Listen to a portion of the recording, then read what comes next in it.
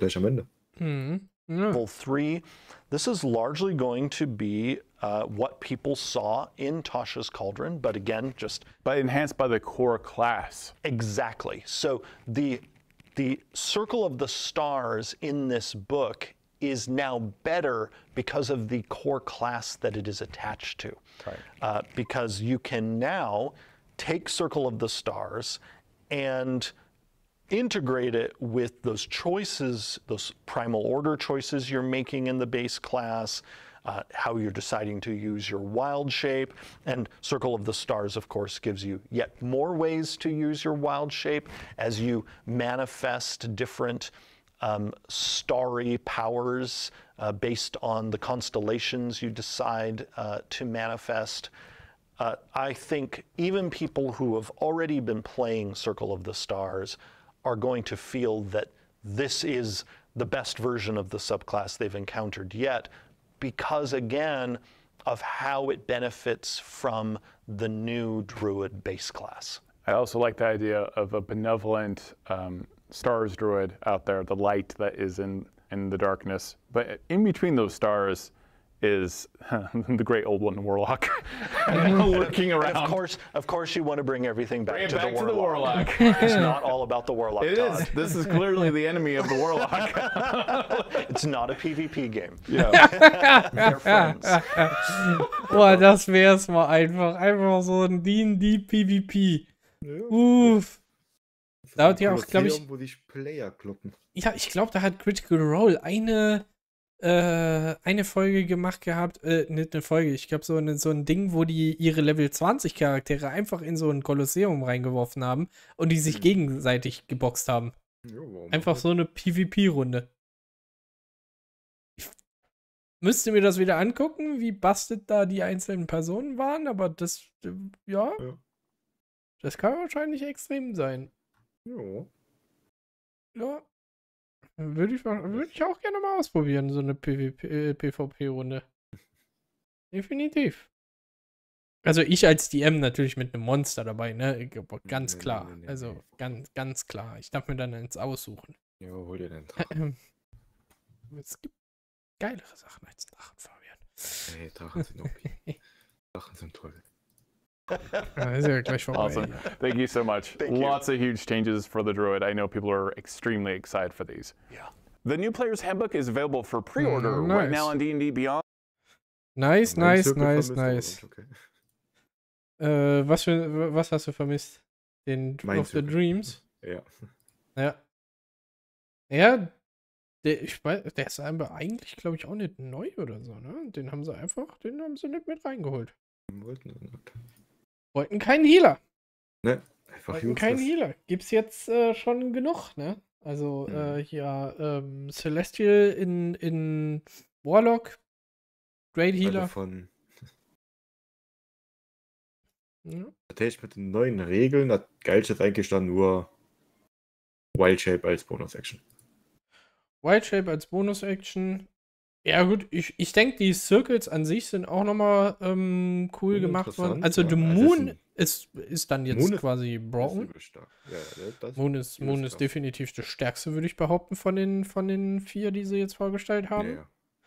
Und ähm, Land hört sich auch cool an. Ich, wie gesagt, ich mag das halt, wenn du einfach so verschiedene Sachen wählen kannst und du kannst dann sagen, okay, ich mache meinen Charakter, also wenn ich dann den nächsten Morgen aufstehe, äh, bin ich halt äh, so ein arktisches, äh, habe ich Mhm. mich mit einem arktischen Land verbunden.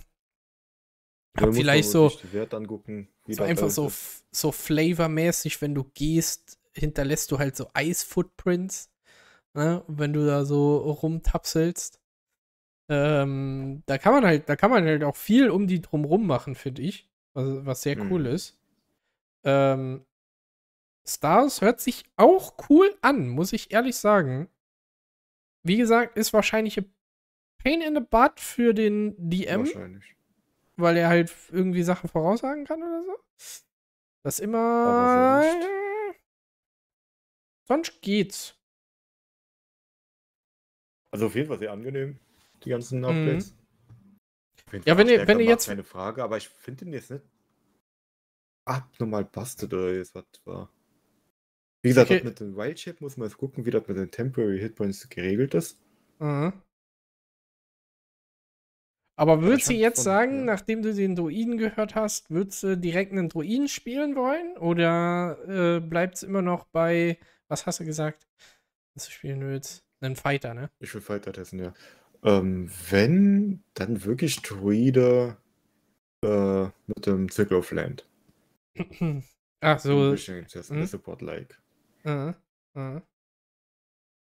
Ah, Ja. weil, wie gesagt, ich würde mir erstmal gerne angucken, wie sie das jetzt mit Shape geregelt haben. Das würde mich jetzt schon interessieren. Mit den, mit den, mit den äh, Temporary Hit Mit Points, der- ne? Ja, wie das gerechnet wird. Ob das Ja. wirklich ein Buff ist oder ob das da doch wiederum ein Nerf ist. Ja, wir können ja mal, wir können ja mal gucken. Die tun ja immer Posts raushauen, auch über die Klassen Mhm. noch. Ähm, ob die Und da die- einen Post für den Druiden gemacht haben. Und wie gut die Upgrades sind, ob das wirklich man ein Melee-Druide spielen könnte. Mal gucken. Mhm. Okay, also ich habe hier das wär. Wenn ich das richtig sehe, Ja, für heutigen Tag hat der Warlock, glaube ich, auf jeden Fall gewonnen mit Bust, safe, vom Bastes her. safe, safe. Glaub, Gerade der, der, ganz oben ist der. Äh, also, also gerade hier, ähm, der, der Archfiend Warlock, das ist ja, das ist ja Ist dumm. widerlich. Der ist Warlock. Da werden ganz wilde da rauskommen. Und Möglichkeiten.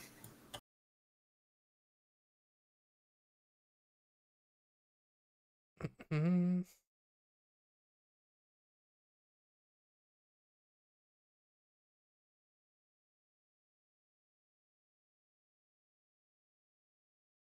Ganz kurz AFK. Ja.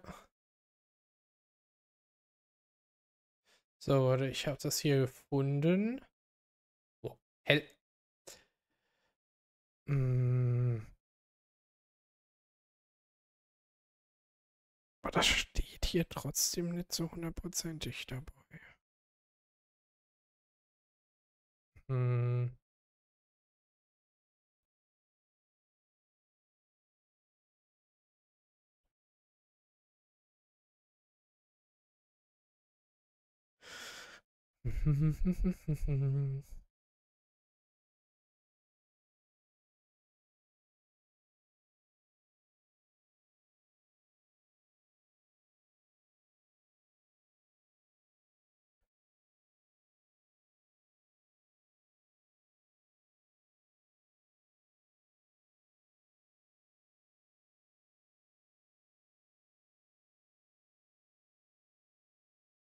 Ah.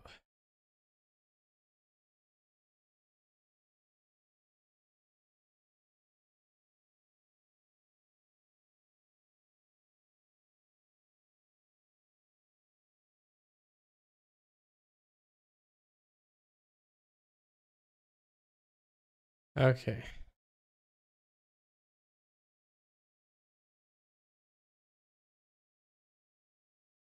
Okay. Ja, ähm, hier steht's quasi basically drin. Äh, und zwar in dem äh, Circle of the Moon. Und zwar, but you gain three times your Druid level in temporary hit points. Das heißt, du bekommst temporary hit points Ja. based on your Druid level. Das heißt, bis du Level 20 kriegst du 20 temporary hit points. Bis du Circle of the Moon bekommst 60, du ja. sogar 60. Das heißt, es ist weniger. Also, es ist ja safe weniger. Das ist ja wirklich sehr viel weniger. Das ist, äh, andere wird aber einfach nur ein Straight-Up-Nerf. das ist definitiv ein Nerf. Nicht Weiß ich aber nicht, ob das so. Feiern. Ja, aber weiß ich nicht, ob das nicht vielleicht sogar needed war. Also klar, es war halt, also das, das mit dem Whitechappen war halt so ein bisschen genervt, weil du das halt als Action machen musstest und das Ja. deswegen niemand gemacht hat. Das ist ja ganz klar. Aber jetzt kannst du es als Bonus-Action machen und das wäre gefährlich, finde ich. Wenn du sagen kannst, okay, ich mache als Action einen Spell, hitte den Gegner und weil es mir schlecht geht, gehe ich als Bonus-Action einfach in White Shape rein. krieg dann meinen kompletten Hitpool äh, und bin basically eigentlich undying, weil ähm, der Gegner muss ja erstmal meinen Hitpool redu äh, reducen. Ja, kommt halt darauf an. Also für Circle of Moon ist es wird übelst gefährlich, ja. Aber wenn ich so zurückdenke, hatte ich schon echt mehrere Situationen gehabt, wo ich mich einfach gewildchat habe. Und du hast mich einfach gewone-tappt aus meinem Wildchat, bevor ich überhaupt nur dran war. Das war, weil, Weil viele Gegner der- dann auf dich draufgehauen haben ne? so und du keinen HP AC hattest. Weil so viel HP hast du gar nicht. Als, also gerade wenn du äh, jetzt als damage-lastige Vieh spawnen willst, dann hast du 20, 30 äh, HP. Mhm. Ja gut, du hast halt auch keinen AC, ne? Das ist halt das Ding. Das kommt halt jetzt da noch an, mit. ja. Das kommt da jetzt halt noch. Ähm, wobei, nee, der normale kriegt das ja nicht, aber der. Ja, Äh, Moon. Wie- doch, nee, der normale kriegt das ja auch. Der normale kann ja ähm, entscheiden, dass dein AC mit in die Beast-Form reingeht, oder? Das war, das war nur bei Moon, Äh, ich. Oder war das nur Moon? Ach ja, war nur Moon. Das ist nur Moon, deswegen. Deswegen finde ich, also Moon, Moon ist halt jetzt verstehen. broken mit Und- Shape. Moon ist auch. Den kann ich ja verstehen. Das ist ja. Der ganze Ja. Zirkel dreht sich um Wild Shape. Ja, gut, das ist dann halt Das wirklich, halt- dass du halt deine Wild Shape nur noch für Utility benutzt, ne? Ja. Also, äh, aber was Also heißt nur noch? Also, du kannst halt jetzt trotzdem als Bonus-Action, du kannst halt trotzdem als Bonus-Action mit Level 8 gehst, du, äh, gehst rein, kriegst 8 äh, Temporary Hit Points einfach basically dazu. Mhm. Ähm, ja. Aber vielleicht ist das ja auch nur so Temporary Hit Points, also vielleicht sind das ja auch eigentlich mehr. I, I don't know. Ja, wie Vielleicht ist das anders da geredet. Ja. Aber ansonsten. Es wird halt, wenn ich jetzt mal meinen Charakter gucke, es wäre einfach unattraktiv gefühlt. Gut. Du, gut, du würdest wahrscheinlich aber auch bei deinem Charakter, gehe ich schwer davon aus, wenn sie den übernommen hätten und hätten dort Änderungen gemacht, hättest du deinen Wild Shape für irgendwas benutzen können. Mhm. Weil sie das ja bei Land und bei, ähm, äh, bei nicht Stars, sondern was war das? Bei Land und, Mensch, bei den äh, Ocean. ja, genau, bei dem Ocean-Ding. Song. Genau.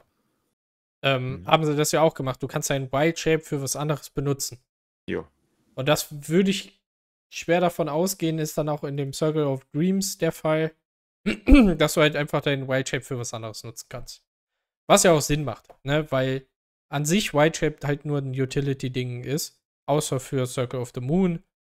Dort ist es halt Da dreht sich einfach alles. broken. Genau. Ja, guck mal. Bin, bin ich auch gespannt. Bin Aber ich, ich hätte gespannt. lieber, was sie jetzt mit dem Druiden gemacht haben, hätte ich auch lieber erst bei Warlock gern gesehen. Also, du tust ein bisschen was verbessern, aber auch ein bisschen Ja, balancen ja. gleichzeitig. Ja, ja. Und machst halt nicht zu broken. Und bei Warlock kann ich nicht einen einzigen Ja, Nerv gehört. Null. Ja, ja, ja, ja, ja. Das ist vollkommen richtig. Man muss halt, ähm, äh, man muss halt dann wirklich gucken, wie fucking broken wird's. Ne? Wenn die richtigen Regeln da sind und das Ja. dauert ja wirklich nimmer so lange, zwei Monate oder so. Weniger Mhm. sogar, weil ich habe ja, ich habe ja noch äh, Feuer und dann geh mal einmal, Fabian, dann, Ja. dann geh mal einmal das Ganze durch. Können wir nicht on Stream machen, weil äh, geht halt einfach nicht. Du kannst nicht das, kannst halt nicht das Playbook streamen. Das wäre lustig. Ähm, äh, aber äh, wir können dann einmal durch so ein schon. paar spezifische, ja, dann mach ich es aber nur einmal. Und dann, dann war es das.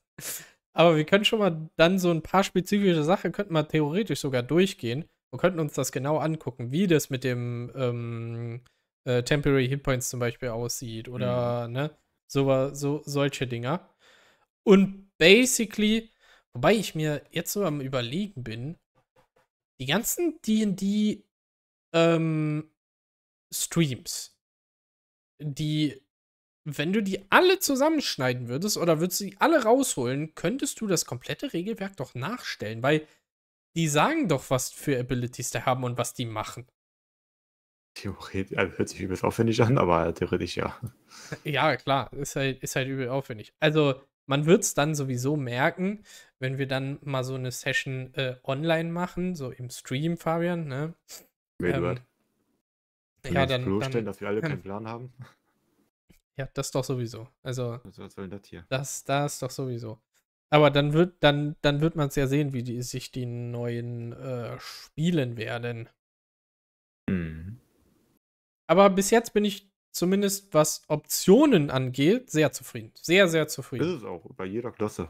Bei jeder Klasse hast du einfach sehr viele schöne Optionen dazu bekommen, die du halt Ja. gehen kannst, wo immer irgendwie, wo ich sagen muss, es passiert halt immer irgendwas. Ne? Also du, du hast vielleicht ein oder zwei Level mal dazwischen, wo vielleicht nur so ein Feed, aber selbst wenn nur ein Feed dazu kommt, Alter, das ist halt trotzdem schon heftig. Ja, allein schon, weil sie Feeds doch noch mehr rausgehauen. Ge genau, mehr. Das heißt, du hast halt basically jedes Level, und ich glaube, das war auch deren Take, dass du jedes Level irgendwas hast, was du dann bekommst, wo du entweder Entscheidungen oder irgendwas Neues halt dazu bekommst zu deiner Klasse, Ist ja die, die ja halt. richtig so. Ja, Level-Ups dauern so lange und dann, wenn du willst, oh, ich bin jetzt Level 8, aber erst Level 10, hit ich nochmal was Tolles. ja gut, es Das kommt ist drauf schon an. tiltend. Es kommt drauf Und auf die an. Klasse an und alles. Ich habe mir, nee, auch wie der DM das macht. Ich habe mir zum Beispiel mal äh, sowas angeguckt, wie so ein DM darüber redet, was für Level-Up-Mechaniken er hat. Hm. Und dann hat er gemeint, er hat vorher hingegangen, wo ich weiß nicht, was ich davon halten soll. Also, keine Ahnung. Der ist hingegangen und hat XP-based gemacht. Der hat Ja. XP aber verteilt für, wenn jemand da war. Also, wenn einfach nur Ja. jemand da war, hat er XP bekommen. Wenn der Okay. in der Session irgendwie was Geiles gemacht hat, hat er XP bekommen. Und dadurch hat das resultiert in, die einen waren am Ende der Kampagne Level 12 und die anderen waren Level 26. Das kannst du nicht bringen. Sorry, Der, das ist. d- du, der, hat sogar, der hat sogar gemacht, du verlierst XP, wenn du stirbst. Du verlierst XP, wenn du Wish castest. Na, sorry, das finde ich ultra bad. Da kannst du aber auch relativ schnell Level up sein. Also, Ja, aber das, äh, ja, habe ich halt Du- auch gemeint. Also, das ist halt, das ist halt totally, Es das ist halt kann- totally es- bad. es ist einfach allein schon bad. Du brauchst ja nur einen, der ahead ist und du tust den Spaß von allen anderen ruinieren, Ja. weil die nie wieder was machen können, weil er so fucking ahead ist und alles wanted. Genau. wie willst du das balancen? Ja. Tust du die Gegner, an was tust du die Gegner anpassen? Ja. An ihm oder an die Low-Level? Ey, nee, ist, ist richtig, ist richtig. Dann hat er aber, also das war das aller, da hat er gemeint, das war das allererste, ähm, was quasi, äh, wie er es geregelt hat. Und Mhm. dann hat er aber so langsam das quasi evolved und ist dann halt auch über Milestones, also was wir jetzt zum Beispiel haben, in der Kampagne sind halt Milestones definiert, dann Mhm. gibt es halt ein Level-Up, wenn man den Milestone hat. Das kann halt mal lang, mal kurz dauern, je nachdem, wie Ja. schnell der Milestone erreicht wird. Was er aber dann gesagt hat, was ich actually ultra geil finde, das geht aber nur in, das geht aber leider nur in einer selber geschriebenen Kampagne. Und zwar gibt es Milestones vom Plot her, den ihr erreichen müsst. Also ganz normal quasi Milestone-mäßig. Je- Jedes Mal, wenn ihr quasi so einen Abschnitt erreicht, kriegt ihr ein Level up. Mhm. Aber die Spieler selber haben auch eine Backstory, die sie verfolgen können. Und wenn dort ein Milestone erreicht wird in dieser Backstory, leveln alle ab. Ja, also allgemein kann ich ja verstehen, wenn einer sagt, XP-basierend und wenn einer was krasses macht, bekommt halt jeder die XP. Du musst halt alles Jo. einheitlich machen. Ge genau, also das könnte man halt, auch das könnte man halt auch machen. Also, dass halt, dass halt wirklich gleich XP verteilt wird. Wahrscheinlich hat der auch davon gelabert, dass das irgendwie so eine Gruppe von, keine Ahnung, fünf, sechs Personen war und Mhm. manche haben halt keine Zeit, manche kommen dann, ne? Sowas in dem, sowas in dem Ja, Dreh. Das ist bei uns ja eigentlich nie der Fall, weil wir wir spielen nur, wenn alle da sind. Wir spielen nur, wenn, wenn alle da sind. Ist zwar Ah, auch technisch wäre Dach ein bisschen weird. ja. Ähm, wobei ich sagen muss, also die letzte Möglichkeit, die fand ich eigentlich ziemlich cool, weil es halt die Spiele auch intensiviert, ähm, äh, ihre eigene Story nachzugehen. Ja? also wie jetzt zum Beispiel mit Patrick oder wenn du das quasi machen würdest oder wenn Eva das machen würde, Lara das machen würde, dann äh, würdet ihr quasi alle, wenn einer seinen, seinen Story, seinen nächsten Storyabschnitt gehittet hat, würden alle einen Level abbekommen. Hm. Was halt. Muss halt auch irgendwie passen alles. Du musst dann halt, Ey. du musst dann halt, klar, du musst dann halt gucken, ne? Du musst dann, du, er hat dann, glaube ich, gemeint, er gliedert das dann immer so, er hat zwei Abschnitte Plot, dann kann quasi ein Abschnitt passieren, wo jemand seiner Backstory nachgeht. Und dann gibt es nochmal zwei Abschnitte Plot und dann geht nochmal jemand seiner Backstory nach und dann nochmal zwei Abschnitte Plot, sodass du halt genau weißt, okay, wenn der Plot-Abschnitt durch ist, ähm, können die halt ihrer Backstory nachgehen und sind dann danach quasi das Level. Ja? Hm. Echt wirklich eher eine eigene Story, weil wenn Ja. ich meine Story hole, ab einem bestimmten Punkt, vom Lesen her, hab keine fucking Downtime oder sonst was. Da kommt ein Action nach der anderen und ihr werdet keine Zeit haben für irgendwas anderes gefühlt. Ja, das würde ich auch. Da muss ich, da muss ich ganz ehrlich sagen, das würde ich nie wieder machen. Nie wieder. Nie wieder. Weil Mhm. ähm, es muss Downtime dazwischen sein. Ey, es ja, muss einfach eigentlich- Downtime dazwischen Also, sein. man, ich erzwinge dann einfach Downtime. Ja, So.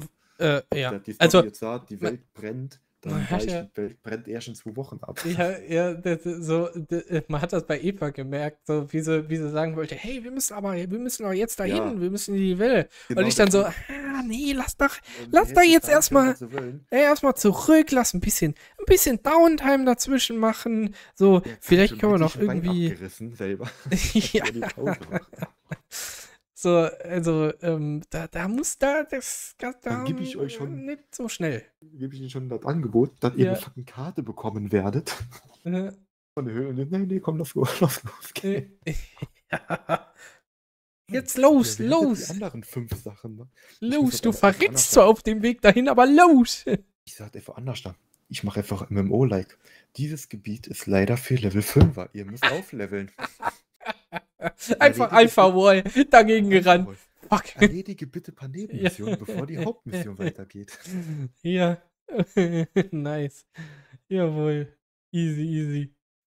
Nee, aber würde ich halt, also auch, also Ja. da muss Downtime mittlerweile dazwischen sein. Mhm. Ihr werdet jetzt nur noch Stories bekommen, wo ihr Downtime dazwischen habt, wo ihr entweder quasi selber irgendwie was Kleines äh, machen könnt, craften könnt, etc. Oder es gibt halt so einen kleinen Nebenmissionsmäßig, wo man dann halt was machen kann. Aber gut, so, dass ihr selber euch Zeug machen könnt, das würde ich immer einbauen. Das würde ich einfach nur noch immer einbauen, weil was mir aufgefallen ist, ihr habt nie Heiltränke und das ist einfach nur geschuldet, weil keine Downtime ist. Weil einfach Mhm. niemand die Zeit dazu hat, Heiltränke herzustellen. Ihr braucht euch ja keine Heiltränke für 45 Gold oder für 50 Gold zu kaufen, wenn ihr die für 25 herstellen könnt. Das macht ja überhaupt gar keinen Sinn, dass ihr keine Heiltränke habt. Aber Ja. Konsum, Kevin. Ja, also Geld ausgeben. Ja, oder halt sich selber so ein bisschen was craften, ein Schild craften, ein- eine Waffe craften, irgendwas verzaubern, ähm, nach einem bestimmten magischen Item suchen, was ihr für euren Charakter noch haben wollt. Genau, verzaubern und dann äh, 100 Proficiency in Arcana sein.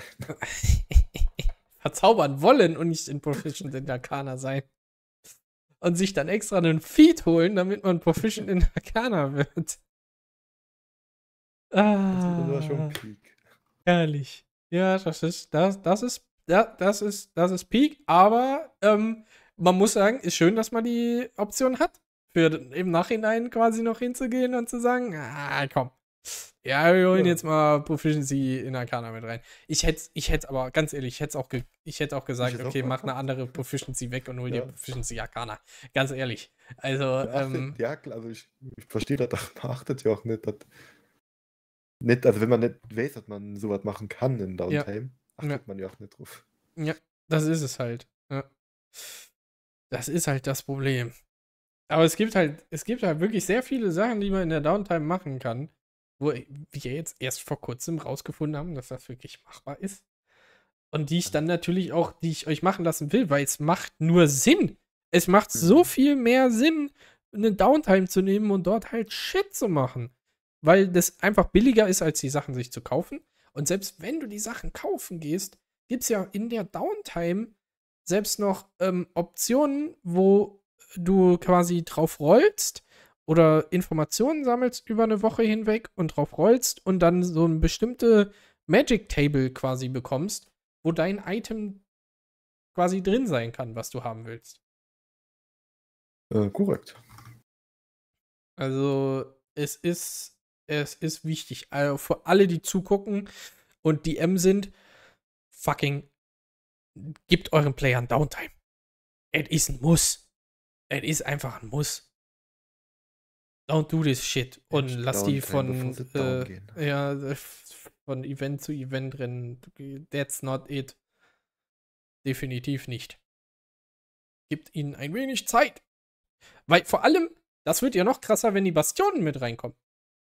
Wenn die Mhm. Bastionen mit reinkommen, dann brauchst du ja Downtime. Also, wie willst du deine Bastion. Wie, also, das passiert nicht äh, quasi, dass du sagst, okay, ich lasse meine Bastion jetzt einfach für sich selber und die wird Shit machen. Äh, nee, du musst ja auch irgendwann mal vor, du musst ja auch irgendwann mal vorhanden sein. Also du kannst ja, also das, ne?